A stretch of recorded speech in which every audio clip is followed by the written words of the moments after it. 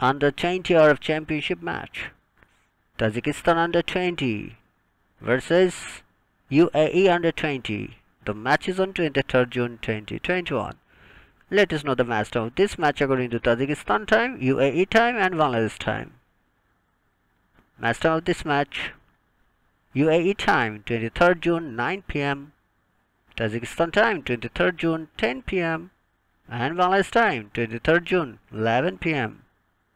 Thanks for watching.